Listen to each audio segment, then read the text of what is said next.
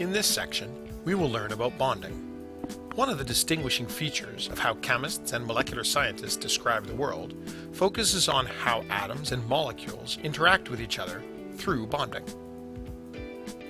Before starting to talk about bonding, we should go over some definitions. The first is molecule. A molecule is two or more bonded atoms. A molecular element is two or more bonded atoms of the same type, like a pure sample of silver or a molecule of oxygen gas.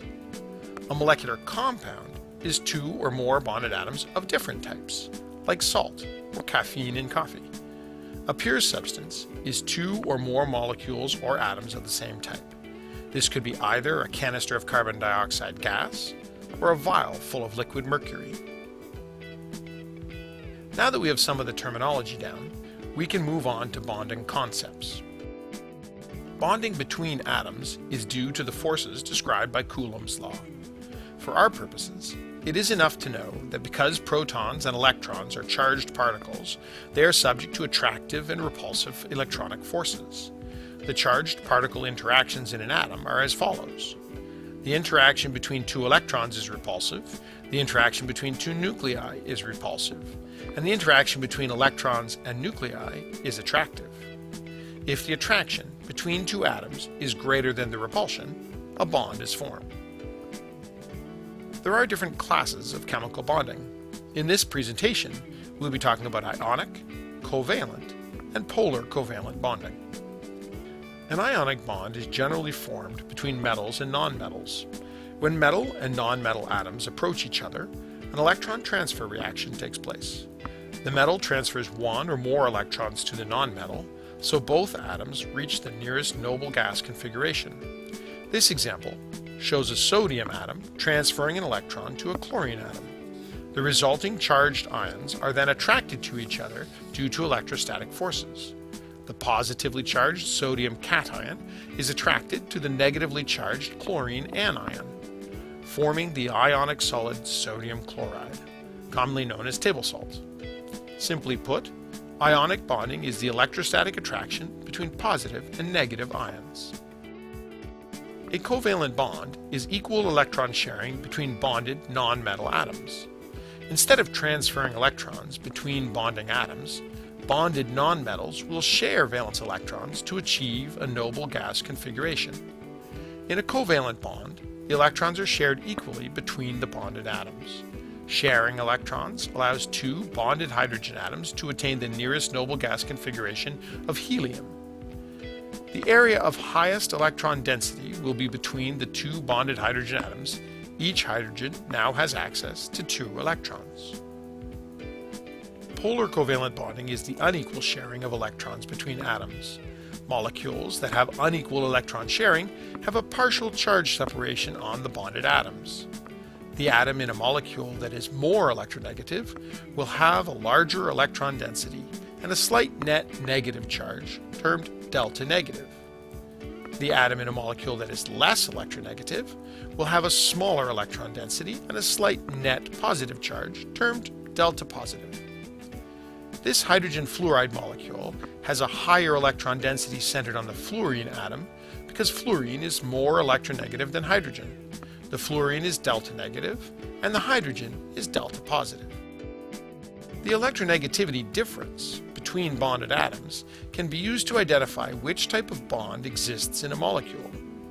A purely covalent bond, where electrons are shared equally, will have no charge on the bonded atoms and an electronegativity difference of 0 to 0.4 delta En. A polar covalent bond, where electrons are shared unequally, will have a partial charge on the bonded atoms and an electronegativity difference of 0.4 to 2.0 delta En. An ionic bond, where electrons are transferred, will have a full charge on the bonded ions and an electronegativity difference of greater than 2.0 delta En. This figure has electrostatic diagrams of oxygen, hydrogen chloride, and potassium bromide. An electrostatic diagram is a three-dimensional picture of a molecule that demonstrates the charge distribution. Red indicates an area of high electron density, blue indicates an area of low electron density, and white indicates no charge. The covalently bonded oxygen has no charge separation. Hydrogen chloride has a partial charge separation, and potassium chloride has a full charge on each ion. Before we continue, we need to expand our definition of valence electrons. We know that valence electrons are the electrons in the outermost shell of an atom. But most importantly, valence electrons are the electrons primarily involved in chemical bonding between atoms. The number of valence electrons an element has determines the chemical properties of that element. Elements in a group have the same number of valence electrons.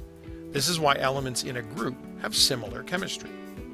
The valence electrons of a main group element are located in the outermost shell.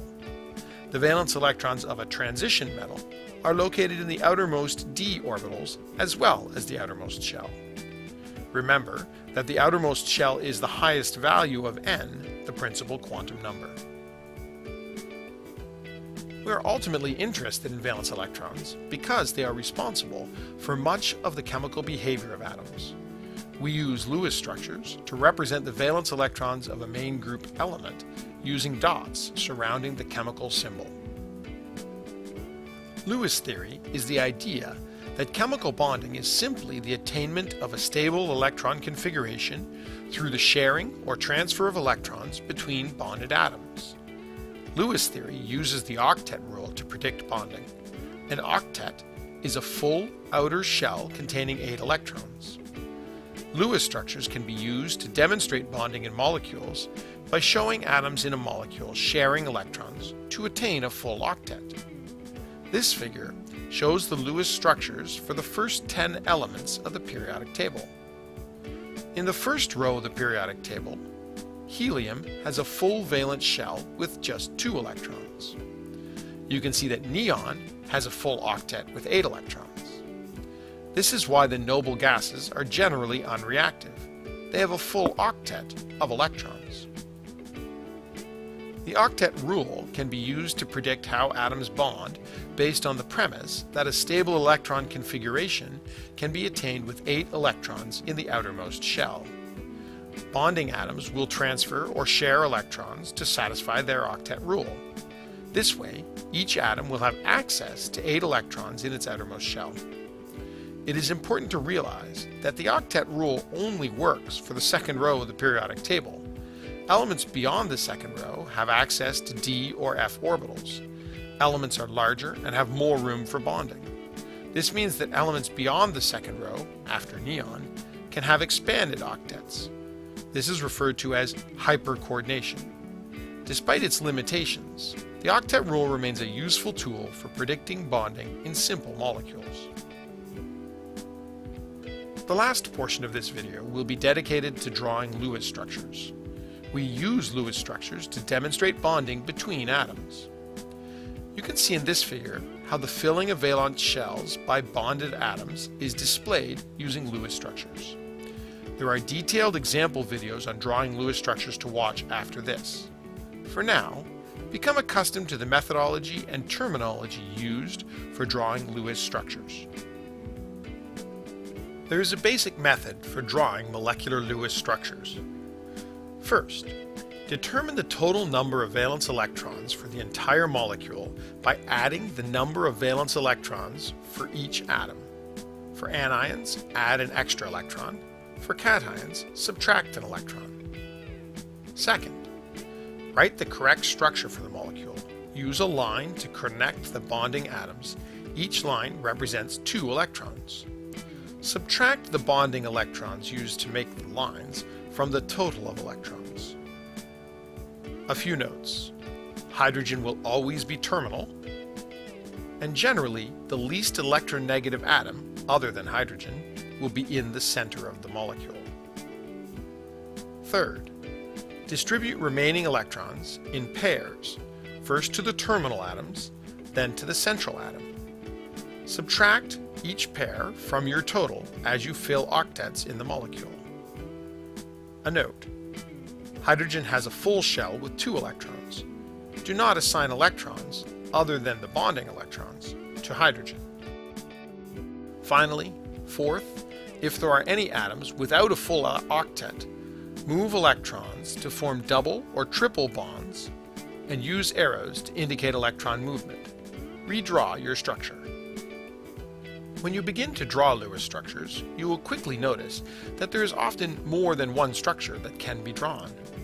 To choose the most correct structure, assign formal charges to each atom in the structure. Formal charge is the charge on an atom in a Lewis structure, assuming all electrons are shared equally. You can calculate formal charge using the following formula. Valence electrons minus one half of the bonding electrons minus the lone electrons equals the formal charge. The structure with the lowest possible charge indicates the most energetically favorable structure. It is possible to have more than one correct Lewis structure. In this case, both structures are used. Resonance structures is the term used when more than one Lewis structure is allowed for a molecule. Drawing both structures with a double-headed arrow between them is the correct way to indicate resonance. We have now covered the basics of bonding between atoms. You should be able to define molecule, molecular element, molecular compound, and pure substance.